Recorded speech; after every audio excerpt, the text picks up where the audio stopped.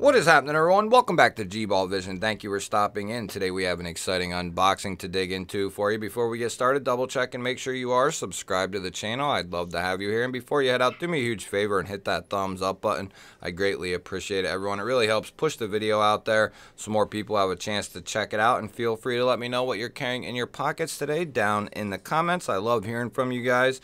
So huge shout out to Olitans for sending this in to us to check out.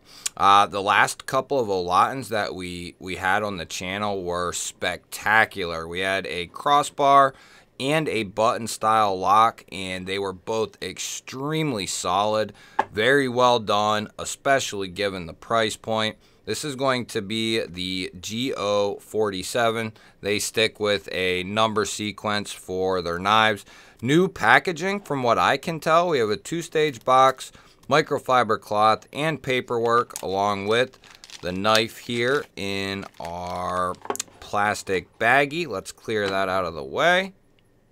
So I am fully expecting a solid knife uh, out of this model right here. Because of my experience with Olitans, I've been I, I've been really impressed. I don't know who does their knives for them, but whoever it is does a phenomenal job. Uh, uh, some companies could take some real cues from Olitans. First thing we see right off the get-go, there's no branding on the blade. It looks extremely clean. Uh, really well finished, really nice. we have this two uh, double dual ground here. I think this is a hollow that runs into a flat there. Then we have this flat area that runs into this swedge, so it really gives it this cool look. Nice drop point style blade. And then coming in 14C28N, which is a great steal given the price point of this knife. Now this is going to be a front flipper only, so it will be for the front flipper fans or for someone who wants to try out their first front flipper. And I think this uh, is going to be a good option. It's a good front flipper design. It feels really well tuned, nice and snappy on the opening action.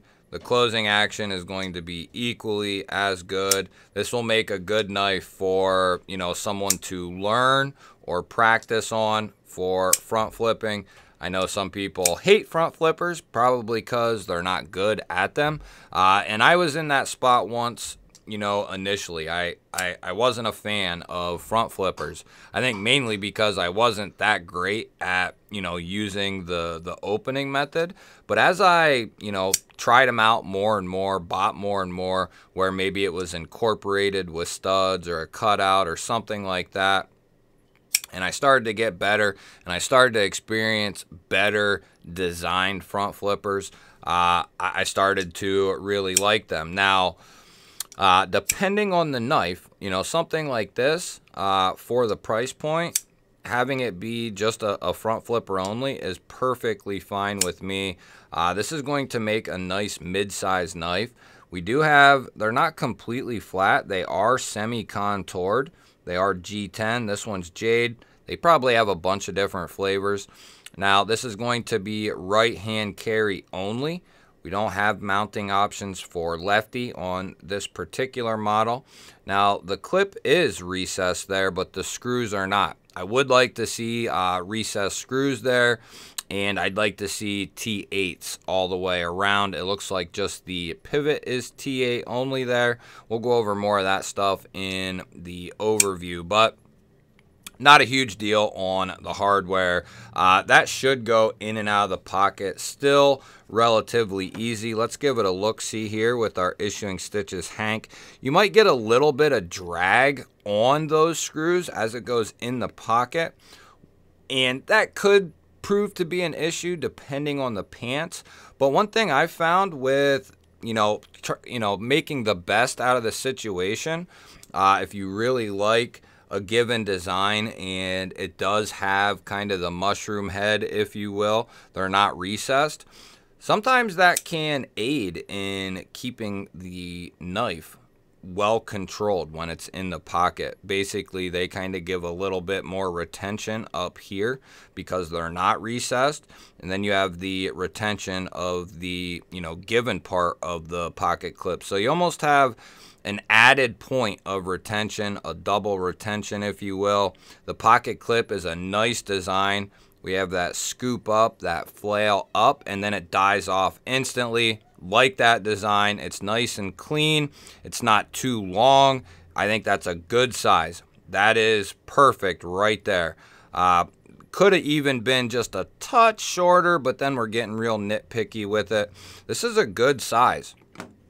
We don't typically measure knives in the unboxing, but uh, I'm pretty interested in this one here. So we're looking at three inches of cutting edge, three and a quarter total, and then we're coming down to around seven and an eighth overall. So not quite a full-size knife and definitely not a small knife. This is going to fall right in that mid-size area. A lot, a lot of people love three inch to 3.3 inch blades. A lot of people really like that size. I don't mind that size, uh, you know, specifically talking about a secondary carry for me, but uh, I, I've come a long way in, I didn't really used to care for anything under, you know, 3.3. Uh, or or around in there. I wasn't a big fan of knives that small, but I've I've made the turn, if you will, and uh, you know I, I've started to enjoy a lot of knives that are around that three inch mark. And trust me, there are a lot of good knives that are in or around you know, three inches, maybe a little bit smaller. Typically, I don't like to go a whole lot smaller than that, but uh, I will if I really love the design. But uh, usually three to 3.3 I I'm a I become a big fan of especially as a secondary carry. Now this has a good edge on it if I can just shut up and cut the paper. But yeah this has a nice nice clean edge on it. And if you don't know 14C takes a very aggressive edge uh, takes a keen edge and it's very easy to put an edge back on 14C uh, given the price point, I bet these will be right around 40 bucks, 50 bucks, something like that. It is a brand new offering from Olitans, so it could be a little bit more initially, but I, I doubt it. I bet it's between 40 and 50 bucks, somewhere right around in there. And I think that's a, a solid price point uh, for the knife. I don't, like I said, I don't know who is doing the knives for Olitans. But whoever it is, is really doing them justice by putting out a very solid knife. It is centered up. There is no lashing of the detent. As far as pivot lash goes, there's no pivot lashing either. There's no movement there.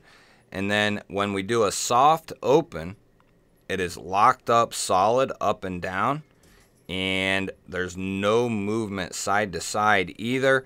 And given the lock there, we're looking at, eh, I bet that's 35% or so, somewhere right around in there. So good solid lockup, good internals there. Let's see how this thing fares against the spine whacker here.